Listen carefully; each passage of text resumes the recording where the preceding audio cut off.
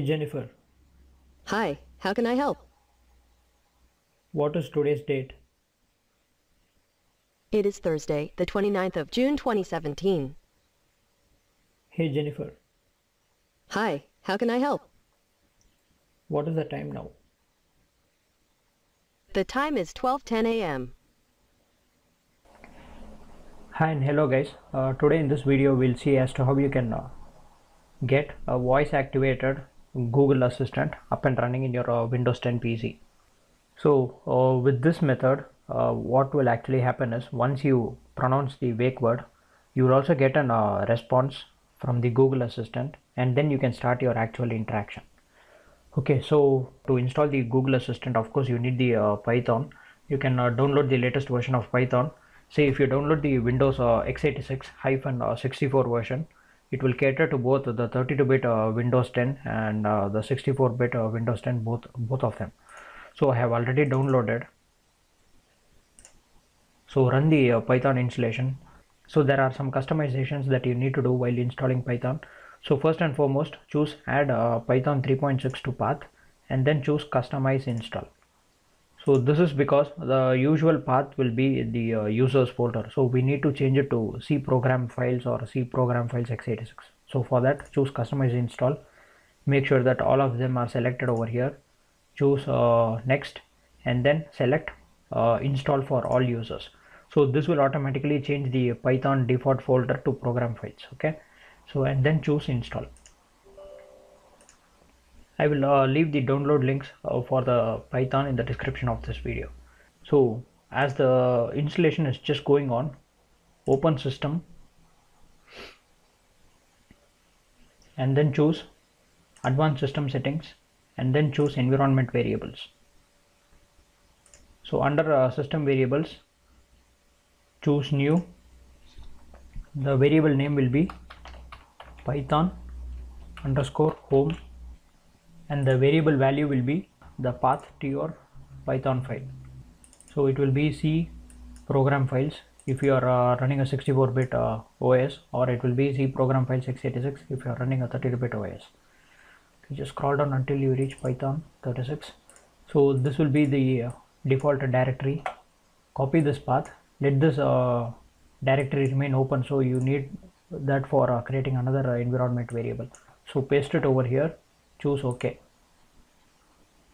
And then just scroll until you get to the uh, variable called path. Double click and open that. And then open the uh, python 36 directory. And then open the directory called scripts. Copy this path. And choose new in the uh, edit environment variable dialog box and then paste it over here if you have any old uh, python uh, variables please remove that. Choose ok. Choose ok. Choose ok. So the python installation has completed. Choose close. And you can close this control panel as well. So now proceed on to this uh, web page over here. I will leave the uh, links in the description of this video. So first line is to install the uh, google assistant sdk copy that. Run command prompt as administrator choose yes the pip is already installed with the latest version of python so you need not uh, install it separately just execute this command and as this process is going on you need to download the uh, configuration file from the developers console download it to some folder within your pc so I have already gone through the procedure of uh, creating a configuration file in uh, previous videos for Raspberry Pi.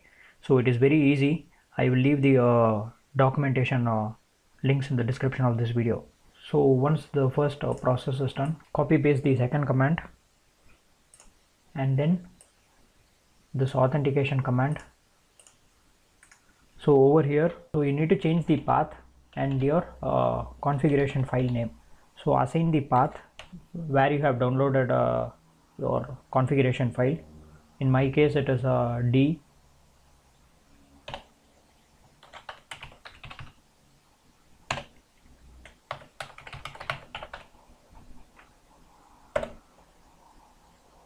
so now you will get a link.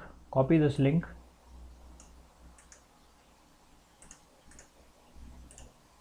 Paste it in your browser and then you need to authenticate uh, in email account and choose allow. So after that you'll get a token. Copy the token and paste it over here and press enter.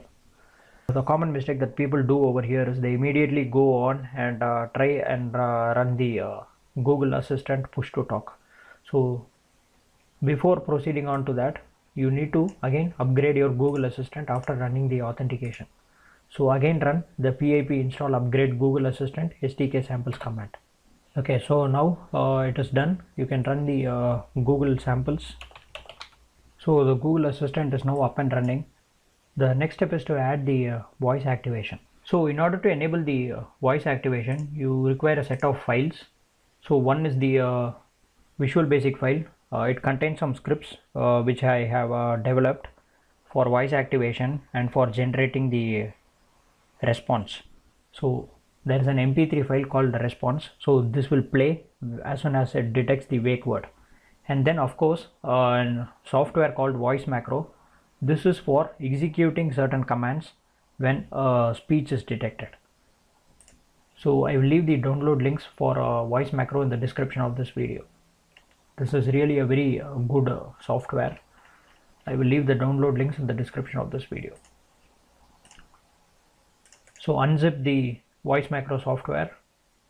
So before you start anything, you need to edit the Visual Basic script so as it is uh, the visual basic script has been uh, designed for my system so in order to edit it for your system uh, right click and choose open with and then wordpad okay so you have a line called uh, oplayer.url so this should contain the path for the response file. Copy the path for the response file and paste it in the line that says oplayer.url and there is a second path which you need to change which is called the uh, wsh shell.appactivate so this path uh, is for the google samples assistant push to talk so open the uh, python directory and move into the uh, scripts folder and then copy the path file for this file which is called google samples assistant push to talk.exe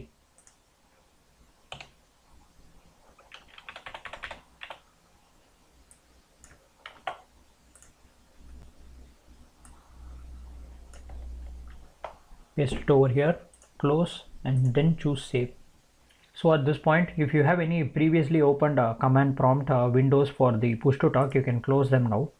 You can run the google assistant by executing the google samples assistant or push to talk.exe so double click that. And now you should have your google assistant up and running. And the last step in the voice activation is customizing the macro.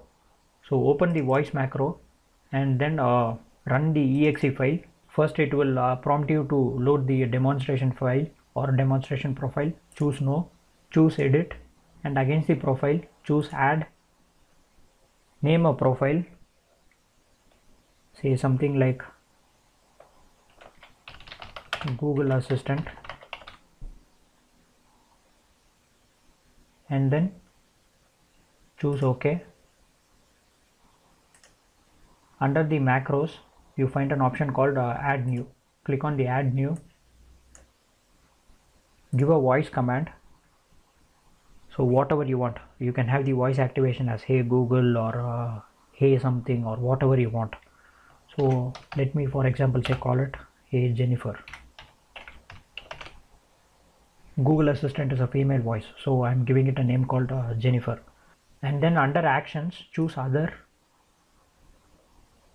and then choose execute or open a file. Click on the browse button over here and choose your Visual Basic script.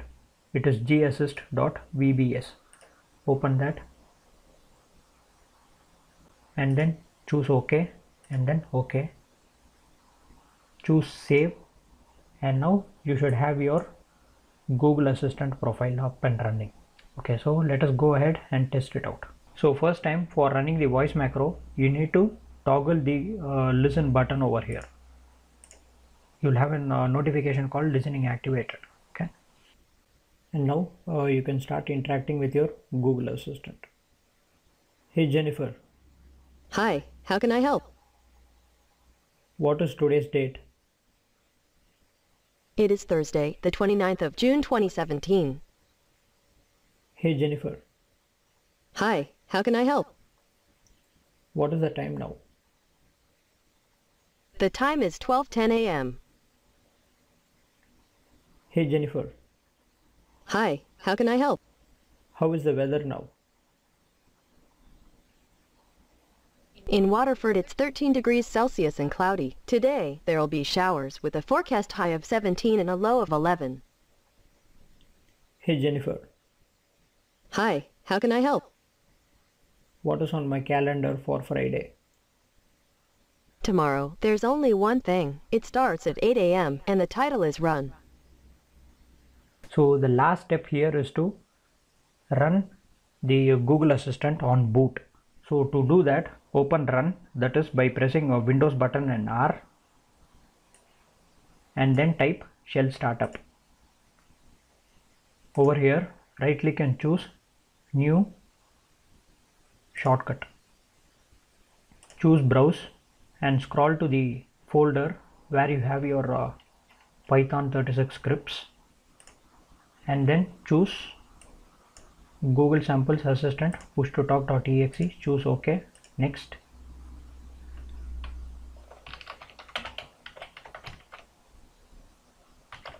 Give it a name.